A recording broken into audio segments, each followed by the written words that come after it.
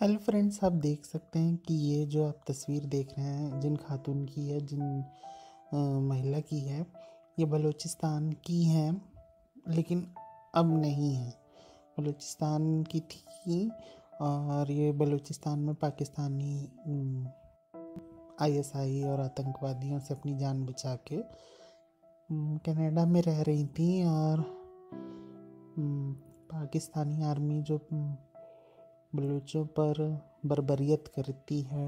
उनको मारती है, उसकी, उसके बारे में लिखा करती थी। प्लस, उसके बारे में यूनाइटेड नेशंस और कई जगह अपने बात कहती थी।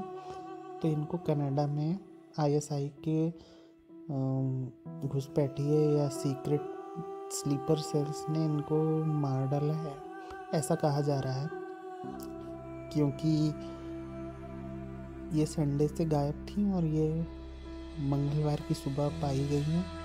और पुलिस भी टोरंटो पुलिस भी इनकी जाँच ठीक से नहीं कर रही है। इनके बारे में लिखा भी गया है। हाँ, हम आपको दिखाते हैं। मैं बलोच नेता नायला कादरी ने भी इस बारे में लिखा है। और हम यही आशा करते हैं कि ऐसा ना हो और इनको इंसाफ मिले और बलोचो पर से पाकिस्तानी का कब्जा हटे। That same Pakistan will be destroyed and Balochistan will be free nation thank you